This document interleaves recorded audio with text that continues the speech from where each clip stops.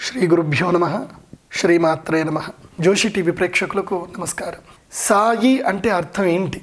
ఈ విషయాన్ని తెలుసుకుందాం మనం. సాయి మహల్సాపతి గారు ఎప్పుడైతే సాయిబాబా గారు ఆ షిరిడీపుర గ్రామం లోపల ప్రవేశిస్తూ ఉంటే ఆ మహానుభావుడి యొక్క దివ్య శక్తిని చూసి ఆయన దగ్గరికి వెళ్ళి రా సాయి అని పిలిచారు. యా సాయి అని. మరాఠీలో యా అంటే రమ్మని అర్థం.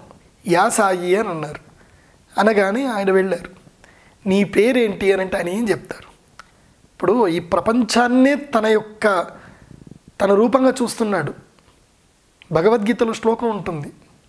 కృష్ణుడు చెప్తున్నాడు మామేవ ఆత్మనం విద్ధి అని ప్రపంచంలో ఉన్న అన్నిట్లోనూ కూడా నన్ను చూడు అని అన్నారు. అక్కడ ఆయన తనలో భగవంతుని చూస్తున్నాడు ప్రపంచంలో ప్రతి చెట్టు చేమలు చూస్తున్నాడు.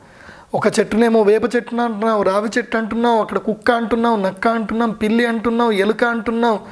వీడు పెద్దవాడు వాడు ధనికుడు వీడు విద్యావంతుడు వీడు ఇంజనీరు ఇవన్నీ అంటున్నావు.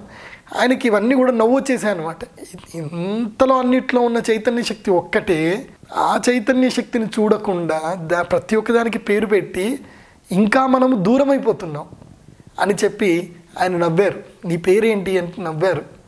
అందుకోసం మహల్సాపతి స ఆయి అని అన్నారు. ఆయి అంటే వచ్చినటువంటి వాడు స ఆయి అతడు అతనిగా వచ్చాడు. సహ సహ స ఆయి అంటే కూడుకొని వచ్చాడు అని అర్థం. కలిసి వచ్చాడు. ఎవరు? సాయి అనే ఒక మహానుభావుడు స ఆయి అంటే భగవంతుని యొక్క తత్వాన్ని తీసుకొని వచ్చాడు అని అర్థం అక్కడ. అయ్యగతౌ ఇత్యస్మాత్ దాతో అయ్య అంటే యాదాతు అంటే అయ్యతి నయతి ఉత్తరాయణము దక్షిణ అయనము అంటాం కదా. అయనం అంటే ప్రయాణించడము. స ఆయి అంటే కలిసి వచ్చాడు. ఎవరు ఎవరితో కలిసి వచ్చాడు? శుద్ధ చైతన్యమైనటువంటి ఒక తత్వము పరిపూర్ణమైనటువంటి భగవత్ చైతన్యంతో వచ్చాడు అని అర్థం. ఆ విధంగా ఆయన సాయి అని పిలిచారు. అది సాయి బాబా అంటే అర్థం. ఇక్కడ బాబా అంటే అర్థం నాకు ఇప్పటికీ అర్థం కావట్లేదండి. అంటే వేరే భాషలో బాబా అంటే గొప్పవాడు అని నాకు తెలియదు కానీ నేను ఇప్పటికైతే ఇక్కడ వ్యాకరణం లోపల బాబా అంటే అర్థం ఏందో నాకు తెలియలేదు.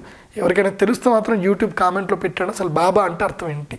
కాబట్టి ఇది సాయి యొక్క అర్థం. శ్రీమాత్రేణ సర్వే జన సుఖినోభవంతు